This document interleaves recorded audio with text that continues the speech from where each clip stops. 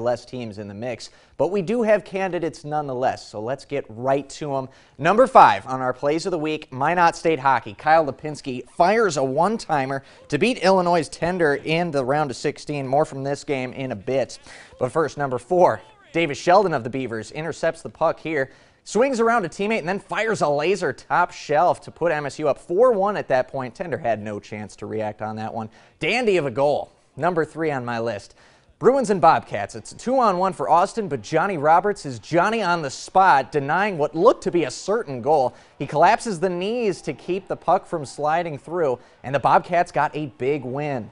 Number two, we go to college softball. Minot State's Julia Suchan laying out for a diving stop and then throws the runner out at first. Great display of athleticism, and the bases were actually loaded there, so she saves at least one run with that play.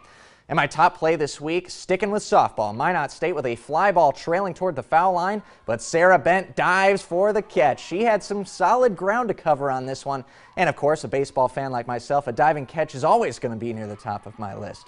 And those are your plays of the week.